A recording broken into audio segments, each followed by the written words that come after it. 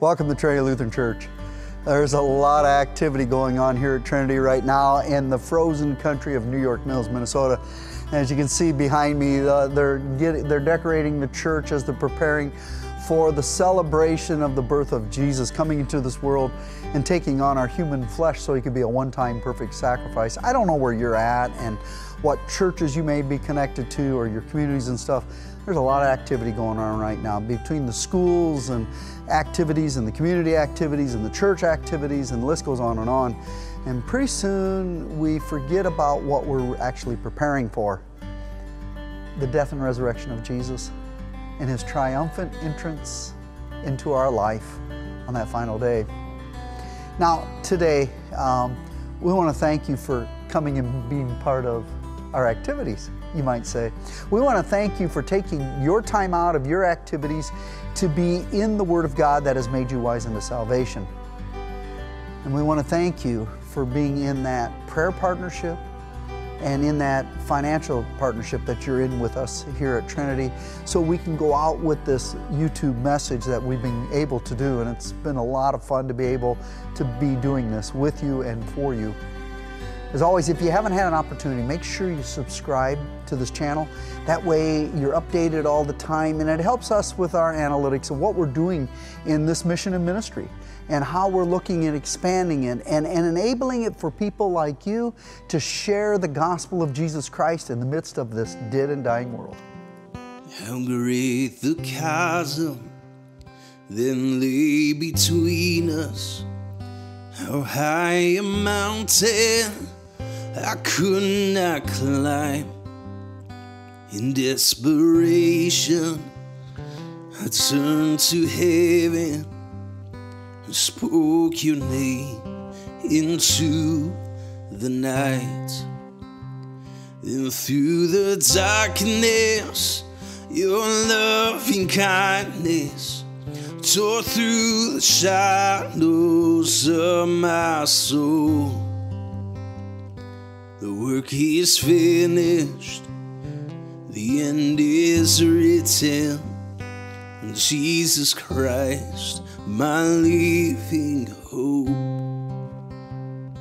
Could imagine so great a mercy. What heart could fathom such boundless grace? The God of ages Step down from glory to wear my sin and bear my shame.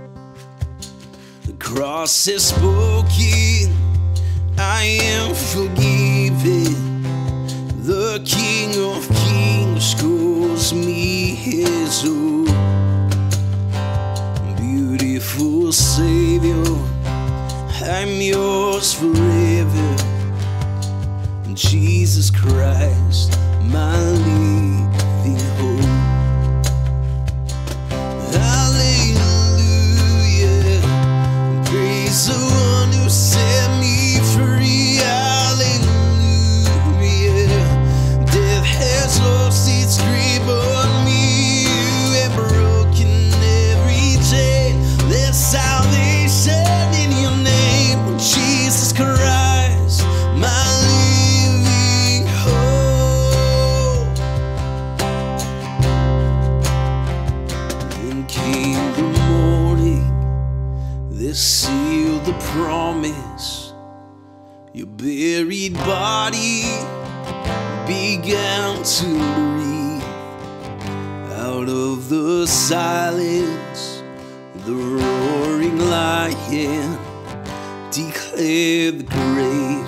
Has no claim on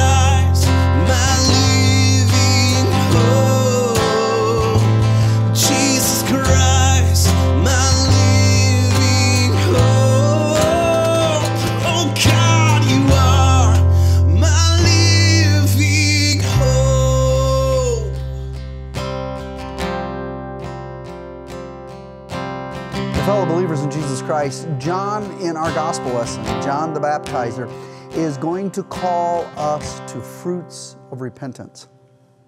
Now, we know by no means can we do something to be forgiven for. We know even our repentance comes out of that comfort, hope, and certainty of that trust that God put into each and every one of us in our baptisms.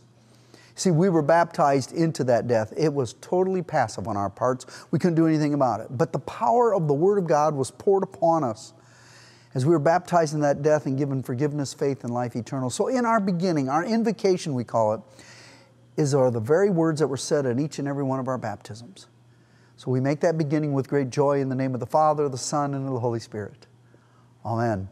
Now, today's gospel lesson Oh, that happens sometimes, doesn't it? We get upside down in the Word of God, but the pure Word now comes to us. In the Gospel of St. Matthew, the third chapter, beginning with that first verse. Now, in those days, John the Baptist came preaching in the wilderness of Judea, saying, Repent, for the kingdom of heaven is at hand. For this is the one referred to by the Isaiah the prophet when he said, the voice of one crying in the wilderness, Make ready the way of the Lord, make his path straight. Now, John himself had a garment of camel's hair and a leather belt around his waist, and his food was locust and wild honey. Then Jerusalem was going out to him, and all Judea and all the district around the Jordan. And they were being baptized by him in the Jordan River as they confessed their sins. But when he saw many of the Pharisees and Sadducees coming for baptism, he said to them, You brood of vipers, who warned you to flee from the wrath to come? Therefore, bear fruit in keeping with repentance, and do not suppose that you can say to yourselves, We have Abraham for our father. So I say to you that from these stones God is able to raise up children to Abraham. The axe is already laid at the root of the trees. Therefore, every tree that does not bear fruit is cut down and thrown into the fire. As for me, I baptize you with water for repentance. But he who is coming after me is mightier than I, and I am not fit to remove his sandals. He will baptize you with the Holy Spirit and fire. His winnowing fork is in his hand and he will thoroughly clear his threshing floor, and he will gather his wheat into the barn, and he will burn up the chaff with unquenchable fire. In the name of Jesus. You know, one of the things we are blessed with within our rural small town communities is to have both hospitals and medical clinics in our small communities that are being supported by larger organizations outside of our area. You see, in our rural small town communities, in most cases, we could not support such clinics and hospitals. But thanks to some forethought, mainly of nonprofit hospitals and medical facilities, uh, they have come and established in our rural small town communities doctors and nurses and PAs and chiropractors that can serve us. And we're always thankful for them. And we pray on a regular basis for those physicians and caregivers that God would bless them to use their gifts to the best of their abilities. Now, when a physician, a doctor, a nurse, a PA, a chiropractor, a psychologist, whatever, when they are working with us, I've always wondered this. If a doctor came to you and I and said, You have a disease that is going to kill you, there's no way around it. There is absolutely, positively, 100% sure through all our tests, exams, and evaluation, you have a disease that you are 100% going to die from. Of course, now when we hear that, our, our brains would go, oh my goodness. And maybe it has for some of you as you've dealt with um, different devastating diseases amongst yourself and maybe family members that you have and friends. But then the doctor looks at you and says, But I have some good news. I can guarantee you through our medical science that we've been doing throughout the, the years, and through all the testing we have done, and through all the application that we have been doing towards this disease with medicine and surgery and physical therapy and the rest of it, we are able to cure you of this disease 100% if you allow us to go forward with this role. What would you do? Would you complain? How dare you embarrass me that you would say that I have a disease? Would you, would you uh, put out emails? Would you go out on social media? Would you, uh, I don't know, the list goes on and on, telling everybody how bad this doctor made you feel? Or would you tell the doctor, whatever you see best for us that can preserve my life, please use us? This is a situation with John the Baptist, as we see in our text today in Matthew chapter 3, verses 1 through 12. Jesus' cousin, John the baptizer, was out in the wilderness calling people and telling them of a disease that they had that was going to kill them for eternity. He says in chapter 3, verses 1 through 3, he says, In those days, John the Baptist came preaching in the wilderness of Judea and saying, Repent, for the kingdom of heaven is at hand. For this is he who has spoken by the prophet Isaiah, saying, The voice of the one crying in the wilderness, Prepare the way of the Lord, make his path straight. You see, John is saying to those as he's preparing the people around him for the coming Messiah, the one who would cure them of the disease of sin, death, and power of the devil, that there was no way they could get away from. That there was nothing that could help them from saving themselves, no physical physician could help them and save them. Only the Messiah. And he says, The kingdom of heaven is at hand the Messiah, Jesus, the one who took on human flesh, the one for 33 years who walked on this earth, fulfilling every part of the law, curing the disease that is within us, and then applying to us a perfect cure. And those that were around John, through his precious blood, a blood transfusion, you might say. A blood transfusion that would win them from sin, death, and power of the devil. And John is pointing to the fulfiller of the prophecy of the prophet of Isaiah. He's gutting us and those around him of the disease with the law. And now he brings restore. In chapter 3, verses 7 through 10, he, he talks about some of the disease that were around him. But when he saw many of the Pharisees and Sadducees coming to where he was baptizing, he said to them, You brood of vipers, who warned you to flee from the coming wrath, produce fruit in keeping with repentance. And do not think you can say to yourselves, We have Abraham as our, as our father. I tell you, out of the stones, God can raise up children for Abraham. The axe is already at the root of the trees, and every tree that does not produce good fruit will be cut down and thrown into the fire. Bearing fruits of repentance. And did you notice he didn't say, now you got to bear fruit so you can do this? He did not say, look, you must do A, B, C, D, E, F, G in order to receive. He says, The kingdom at heaven of heaven is at hand. The creator of the heavens and the earth, the Messiah, Jesus, the one who is here now, bringing salvation for the whole world. He says, This is what creates repentance. In the trust, in the promise of God's word, as he showed through the fulfilling of the prophet of Isaiah, as John's pointing to the Messiah, and warning the people of the disease that's within them, that they must bear now as a repented, redeemed child of God to bear fruit. Now, when John's talking about bearing fruit, he's not talking about just being sorry for our sins or having sorrow. But true repentance is trust in the promise of God's Word, which brings fruit of repentance in a life because we are forgiven, we get to live out a forgiven life. I wonder sometimes if John was in our church today and he was gutting us with the law, just like the law God always does in His perfect Word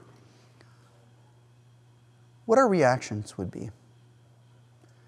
Would we be contacting our, our, our local leadership in our church and saying, you know, I don't know about that John the Baptist. Uh, boy, he's kind of, he really makes me feel bad about things. Would, would they make a contact say, you know, I just want to feel good about myself? You see, that was the problem with the Pharisees and the Sadducees. They felt good about themselves because they were sons of Abraham.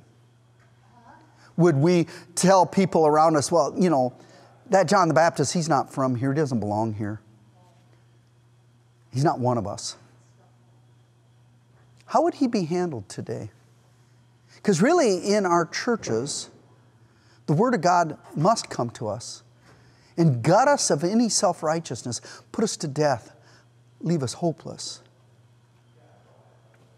Listen to John as he says in chapter 3, verse 12. He says, His winnowing fork is in his hand, and he will clear his threshing floor, gathering his wheat into the barn and burning up the chaff with unquenchable fire. You know something unique about wheat when it's being harvested? I don't care if it's in the days of Jesus where they would harvest it with a scythe, like a, like a big knife on a big stick, you might say, for those that aren't familiar with it. And then when they bundle it up, they would take it into what they call a threshing floor. And it was a depression in the ground that had hard ground. And they would beat that wheat, and so that the chaff that is on the wheat would get separated. And then on a breezy day, they would throw it up in the air, and the chaff, the light chaff, would be blown away, and the wheat would, kernels would come down. Combine does it today too, as you watch a farmer out there farming. It's still a, a, sieve thing beating out into the, or a rotary unit inside a combine, and it's beating the chaff off of the, the seed, and then a, there's a fans configuration in there that blows the chaff out. You see, all wheat seed has chaff. All human beings con- conceived in a mother's womb has sin. And the separating of that chaff of sin has been done, yes, you might say, with a wind. This writing today, as John is telling of where Jesus was going to baptize with fire coming, we see that at Pentecost where the fire of the Holy Spirit came upon God's people to tell the good news of the Messiah, Jesus Christ, and what he accomplished for on a cross. And so that the chaff of sin, death, and power of the devil would be lifted on the, uh, away from them by the power of God's word. And they were baptized by the power of that God's word and given a kernel, a heart of a new life. This is the fruits of repentance. You see, as a redeemed, forgiven child of God, washed in the blood of Jesus, we have been forgiven for the chaff that's in our lives that we've been born with and the lack of fruit of repentance that we have done. But as a forgiven child of God, by the death on the cross for us all and his glorious resurrection, it leads us in a life of repentance and forgiveness that is con- perpetually continuing until the day that we're in front of our God for eternity. So let's ask ourselves five questions as a Christian church as we look at how God leads us in repentance in view of what He's done for us on a cross and redeemed us from sin, death, and power of the devil, and how we now get to live that resurrected life of forgiveness. Here are five questions that we get to look as we as the Christian church. So when we look at John saying, the kingdom of heaven is at hand, our first question is this How does the coming of Him who reigns over the heavens change this congregation's mind? Remember, repentance means always to change the direction you're going, change the mindset that you have. Number two, how does this change your mind? Number three, as you consider those other questions, what promises of God are you struggling to believe? Number four, which commands are you having trouble accepting. And finally, number five. What might it look like for baptized believers in Jesus to live out their repentance in these gray and latter days? Those are some questions I pray today create a struggle in your mind. As you view the fruits of repentance that God enables you to carry through as a forgiven, redeemed child of God. Too often in the church, we're living in the chaff of this world and our self idolatry in this world about how we make decisions of how we feel. Job wrote in chapter 19, Oh, that these were written on stone. All, as, as they are written with lead and a stylus. He says, I know that my Redeemer lives. See, it's not how I feel, it's how I know. And too often the church is living in survival and scarcity instead of the grace and abundance that's in Jesus Christ. And my dear children of God, God has fully, freely, completely, 100% forgiven that. Now He creates that new heart in us. As we ask those questions of ourselves, as a redeemed child of God, forgiven in the blood of Jesus, how do I get to now, by the power of the Holy Spirit, through the power of God's Word, get to bear fruits of repentance? I invite you, um, if you look at our web page here at Trinity New York Mills, my email address is on that. Contact me. Let me know. You got questions? Hunt me down. You got comments? Let me know personally. And let us open the Word of God and reason together as we bear fruit of repentance in life of forgiven, redeemed, forgiven children of God. Of course, that comes to us in one way. His name is Jesus Christ. To Him we give that glory and that praise and adoration. Amen. Let's pray the Lord's Prayer together today. Our Father, who art in heaven, hallowed be thy name. Thy kingdom come, thy will be done on earth as it is in heaven.